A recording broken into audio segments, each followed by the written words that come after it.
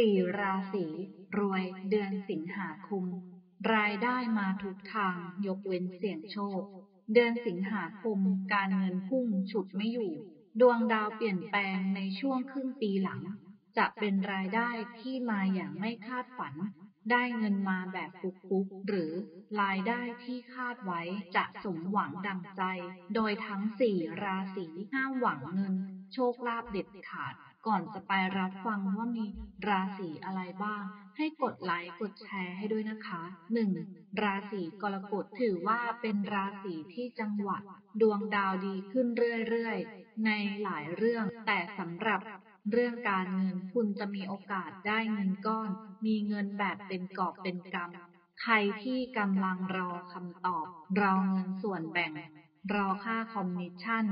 หรืออะไรก็ตาม ในเดือนสิงหาคมนี้ จังหวะการเงินคึกคักมากเป็นพิเศษ รวมไปถึงในเรื่องของโชคลาภด้วย เพราะว่าคุณยังเป็นราศีที่ติดอันดับของคนมีลางสังหรณ์ที่แม่นยำ ดังนั้นใครที่ต้องมีการลงทุนอะไร ที่มันเสี่ยงเสี่ยงๆราศีกรกฎ โอกาสที่จะได้กำไรได้ผลตอบแทน ที่ดีก็จะมีเข้ามา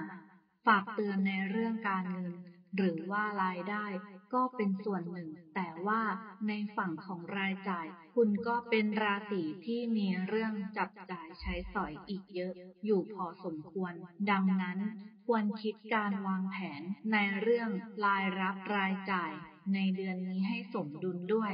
2. ราศีสิงห์ คุณเป็นราศีที่มีข่าวดีในเรื่องการเงิน และยังมีข่าวดีในหมวดอื่นด้วย เรียกว่าดีสองต่อเลยทีเดียว ดังนั้นใครเกิดราศีสิงห์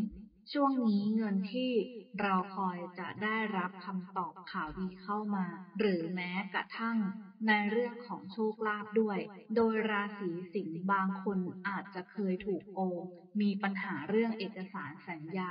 เรื่องของการเงิน แต่ในเดือนสิงหานี้ ทุกอย่างจะค่อยๆ จัดการที่คายไปในทิศทางที่ดีขึ้น โอกาสแห่งความสำเร็จความก้าวหน้า หรือแม้กระทั่งในเรื่องของการค้าขาย ใครที่ทำธุรกิจอยู่ คุณอาจจะมีโอกาสเซ็นสัญญาทำข้อตกลง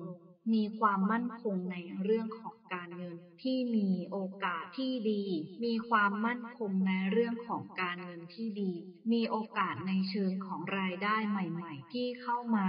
มากมายยิ่งขึ้น 3. ราศีกุม ในเดือนสิงหาคมนี้ ถือว่าเป็นเดือนแห่งการกอบโกยสำหรับราศีของคุณเลยทีเดียวแต่ต้องย้ำก่อนว่าเงินที่จะเข้ามาในเดือนนี้ไม่ได้มาเป็นเรื่องของโชคลาภ ไม่ได้เป็นการเสี่ยงโชค แต่ว่าจะเป็นเงินที่มาจากการทำงาน เพราะว่าราศีกุมนั้นเป็นราศีที่โดดเด่นในเรื่องของการร่วมหุ้น ลงทุน เป็นสัญญาทำข้อตกลง ก่อนหน้านี้อาจจะมีปัญหาในเรื่องของการจับจ่ายใช้สอย กระเป๋ารั่ว ปัญหาเรื่องการเงิน อย่างที่เกิดขึ้นหนักมาก แต่ช่วงประมาณกลางกลางเดือนสิงหาคม โอกาสที่จะคลี่คายหมุนเงินได้คล่องขึ้น มีคนมาช่วยเคลียร์จัดการในเรื่องของการเงินที่ดีขึ้น หรือใครที่กำลังรอเรื่องของการขออนุมัติสินเชื่อวงเงินทั้งหลาย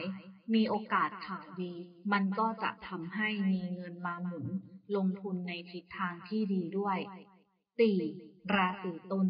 เป็นเดือนที่มีโอกาสได้เงินเข้ามา แต่ว่ามันจะมาแบบฟุกๆ ไม่คาดฝัน เช่น เวลาคุณค้าขาย ลูกค้าเจ้านี้คิดว่าจะซื้อกันแบบ 90%แล้วพอสุดท้ายมาเปลี่ยนใจในภายหลัง แต่คนที่ไม่ได้คาดหวังไว้เลย อาจจะอยู่ดีๆ มีการเจรจาติดต่อค้าขายกับเราเข้ามา ก็เลยทำให้มีโอกาสที่ได้เงินก้อนเข้ามาแบบไม่คาดฝันนั่นเอง หากตรงกับราศีท่านใดให้คอมเมนต์เพื่อเปิดรับดวงได้เลยค่ะ